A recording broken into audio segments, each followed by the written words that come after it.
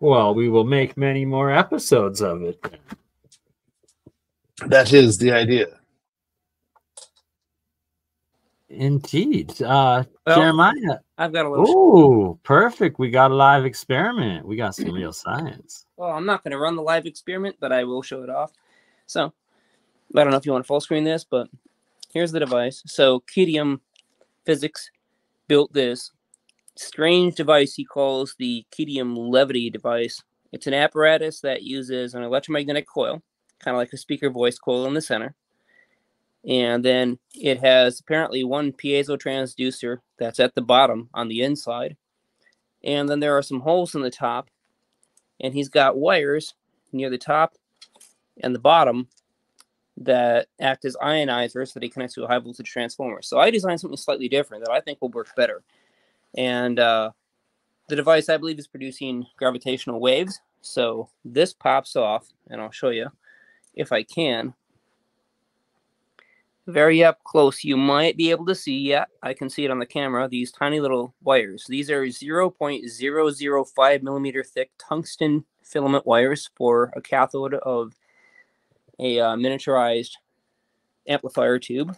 And so that goes underneath. I left the original 3D print first layer raft on because sound waves can still get through it. So I can drill these holes out if I want to, but at this point I don't feel the need to because sound gets out of it plenty good.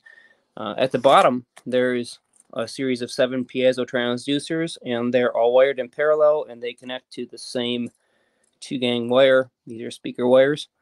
And then the bifilar center coil is just one layer up and one layer down with two wires, one side by side. So these are both the same length. And then I've got, if I want to use it, a second coil. So I can assemble this with a Helmholtz array using uh, two different coils. And that will unify the magnetic field between the two. So for now, just to protect this extremely thin and delicate wire, I'm going to place that back on the top. It just slips in place and sits there. Fits tightly enough.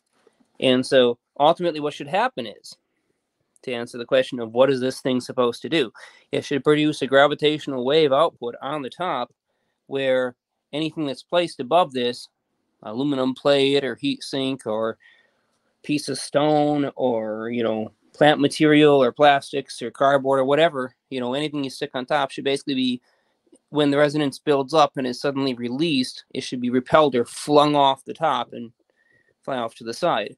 And so we're going to find out if that actually works or not in this device.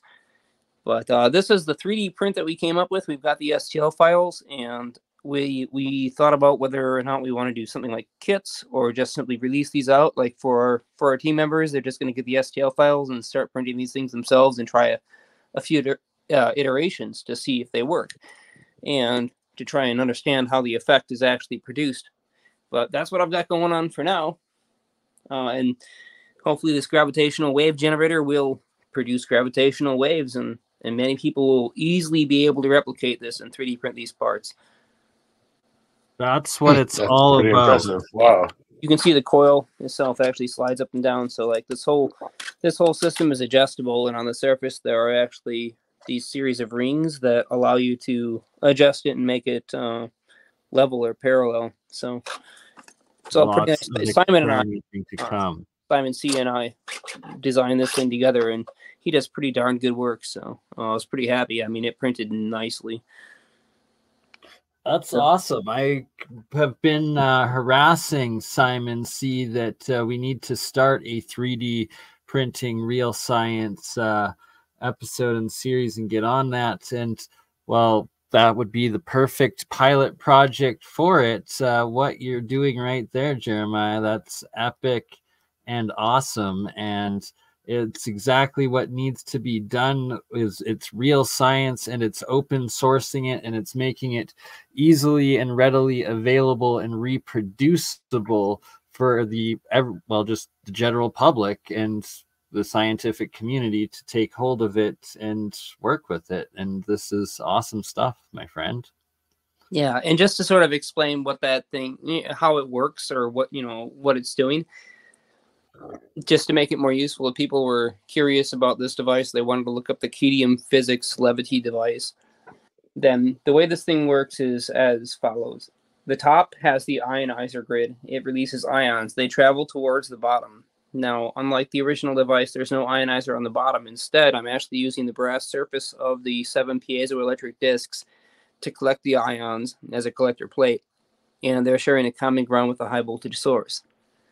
So ions flow from the top to bottom on the inside in a straight line, except for they don't exactly flow in a straight line. The reason for that is synchronized with the piezoelectric sound transducers is an electromagnetic coil. So what the transducers do is they make the ions move up and down.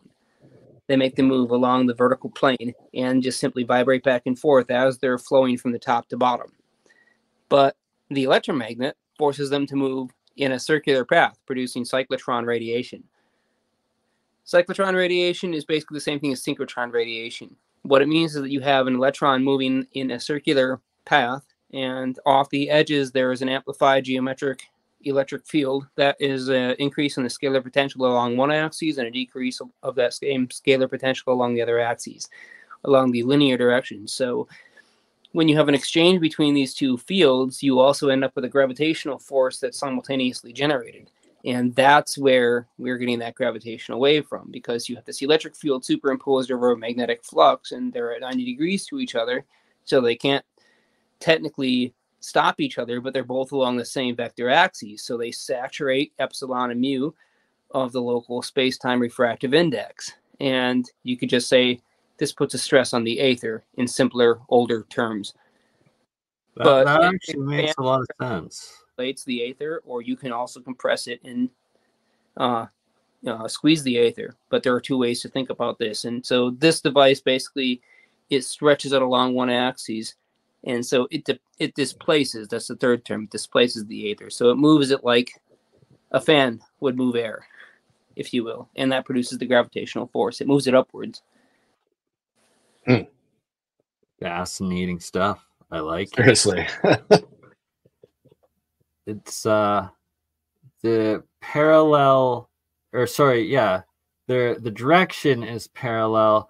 Their position is perpendicular 90 degrees and the two waves going together and that effect correct? That that's the key aspect exactly. The electric field is along the direction that the force is generated and the magnetic field is perpendicular but the magnetic field's electric vector potential is parallel.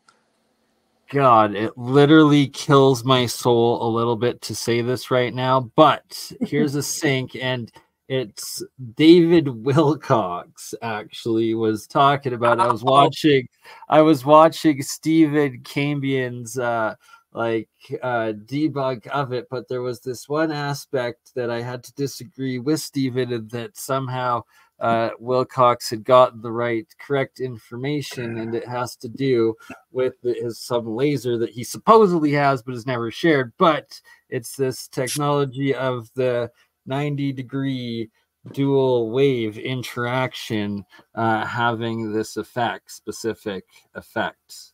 And uh, yeah, won't get further into that, but just. Bro, I swear if I find out Wilcock is playing with the beam splitter and that's what you're talking about and all this hype is for nothing, I'm, uh, you know, metaphorically gonna gonna slap you in the well, head.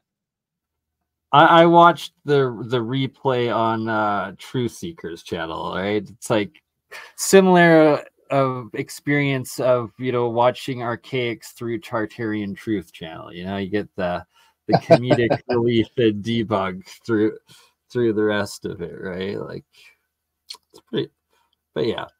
Gotta have an open mind, and in that one, it's like where whether or not Wilcock is actually doing anything with that technology or just simply, uh, you know, copied it from some other source that's actually doing the research and work and the original uh, discovery or whatnot.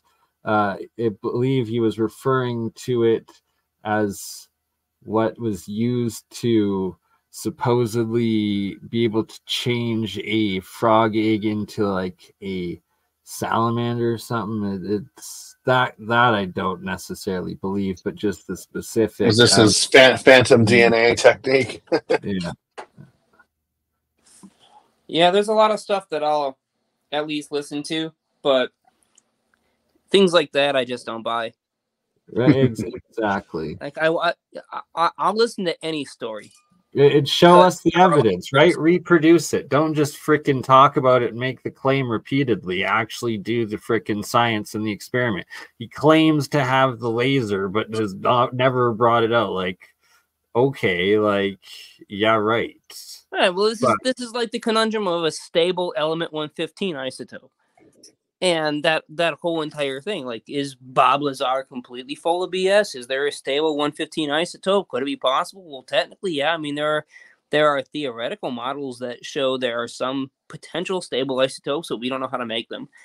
And It could He's- be he's- potentially what they're experimenting in such facilities as CERN or the to- tokamaks and stuff like that that would have large enough electromagnetic fields to contain something along that lines potentially no Well, I have sort of this theoretical model based on Bob Greenyer's work and Ken Shoulders and a variety of others, which give me a, a conceptual fantasy that we can have a how how would I say this?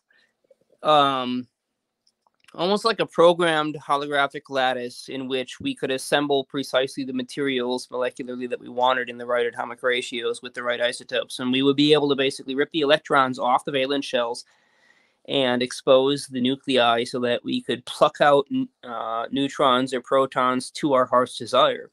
And we would be able to fabricate these isotopes in whatever ratio we wanted by using some kind you of. are specifically talking about what my end goal of my electrolysis alchemy uh, experimentation and development is and what i believe uh, can be done with these monoatomics the bagel coils the Keshe coils and uh, electrolysis in general Right. So here's basically the concept we have some machine that can take atoms apart, but the problem. So, so here's here's the missing part, and the key aspect is the resonant frequency of each metal and element that you're trying to transmute to, and that you have that pumping through both the anode and the cathode going into the electrolysis, which will then uh, structure the water specifically into that crystal lattice that you are speaking of,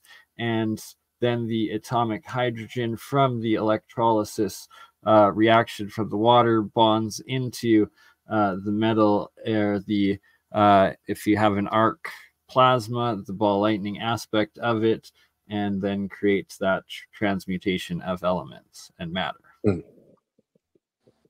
Well, yeah, I mean that's one way. That's one way to do it. there are, like I said, there are a, a multitude of different approaches.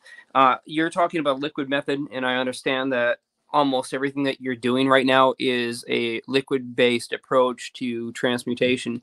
But But stepping also, it up a notch we'll have the uh, a high voltage plas like uh, electrical plasma arc going between the anode cathode the two electrodes and then you have that ball lightning plasma fusion evo aspect but instead of it being in air you have it in a much denser but still just hydrogen oxygen makeup material to be doing that transmutation of elements in right. I just, I just want to make sure that you're aware of the other methods, which include um, atmospheric plasma transmutation and uh, vacuum transmutation, which you can do using the same high voltage fields, but it's not anywhere near as um, it's not anywhere near as bright, but you end up getting a lot of plasma inside the chamber. And then you have other methods as well that you can use the electric fields to polarize some of the elements.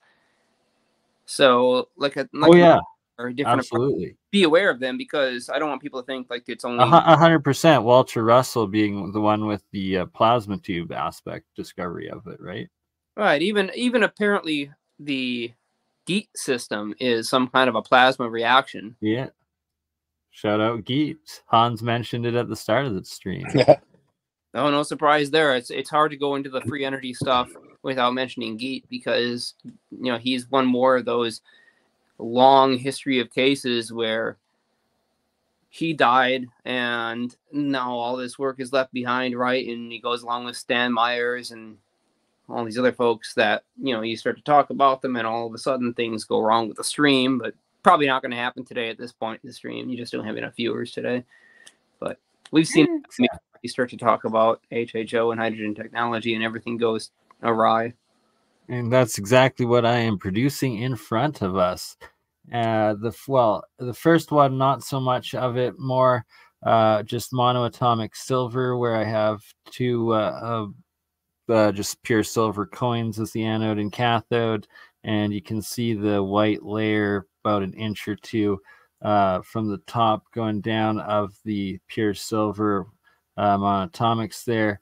And then now I'm going to go light up uh, the jar on the left, which is expedite. It's completely full of uh, monoatomic aluminum ormus at this point, just because the reaction's so high. But uh, hopefully, I'll be able to show uh, the amount of hydrogen being produced still off of just the five volts of the copper coil here momentarily. Mm-hmm. Now keep on going with the experiments.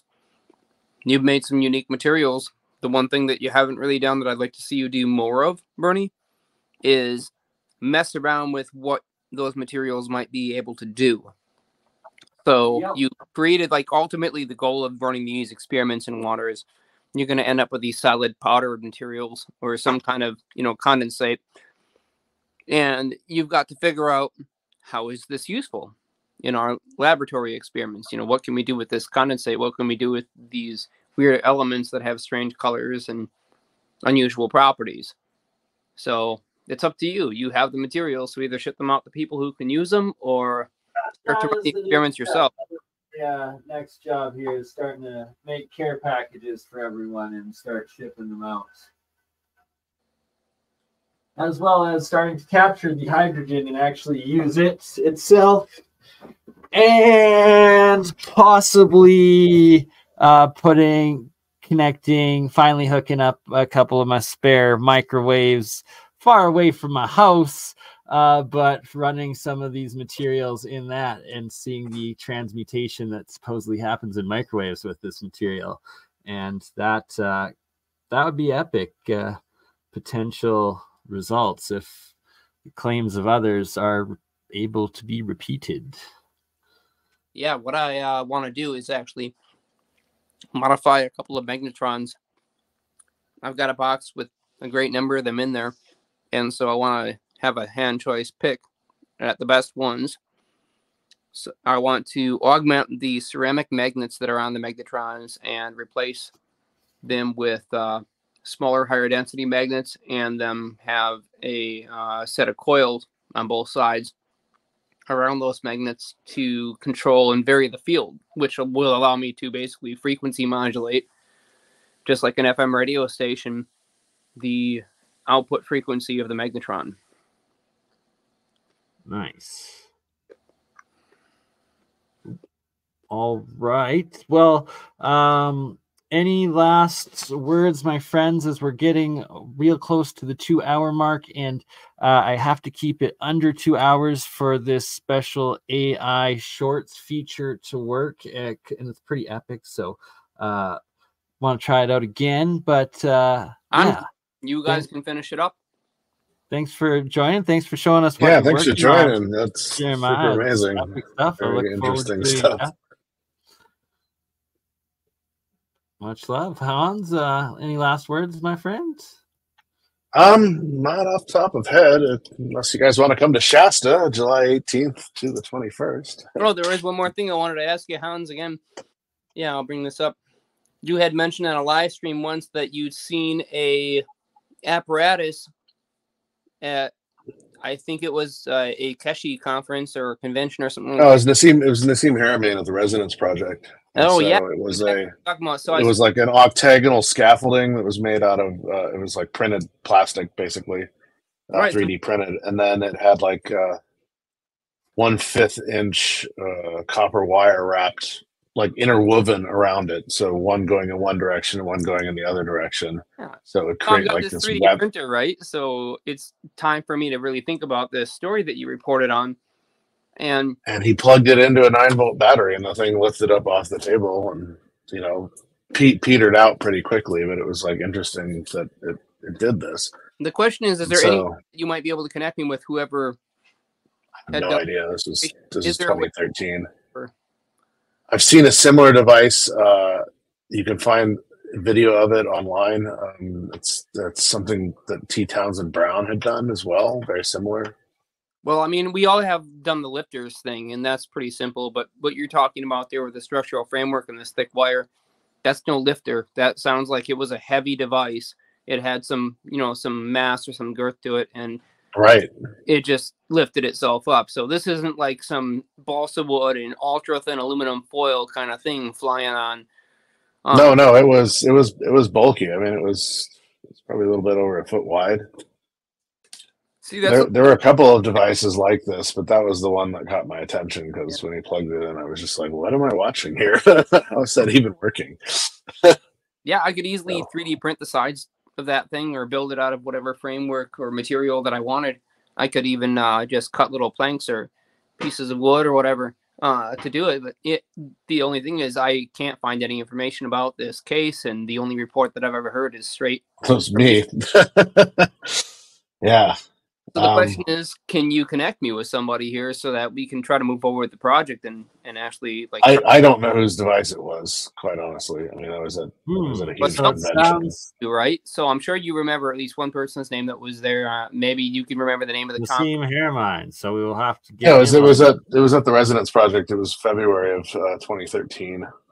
All right, so maybe Danny Janover was doing his his spiel, and they had a bunch of people that had brought their devices basically to, to show off to Nassim because he was going through some interesting patents of his own. Um, you can look up one of his patents. It's right, this like- weird dome shaped device, or not dome, sorry, uh, globe shaped device that had I think 16 fingers, and he would charge a positive and a negative through each one and was spitting water through the center of it and it was changing like the, the water it was warping the, the, the floorboards in his house around this thing. I think um, i've heard that story. It's called a hydrodynamics um, all right. Well, we will have to continue this yeah, no conversation after the stream ends uh, as I got to cut it off here. But uh, yeah, stick around, Hans. Yeah, I'll, I'll, stick around after we'll the end, Hans, and we can talk in the after show. But right now, he's got to just kind of finish this thing out. Yeah, I just got to cut nine. Cut it so it stays yep. under two hours. Thank you all. Much love. Wishing everyone a blessed week, and we'll see you again soon. Cheers. You crazy mother. Yeah.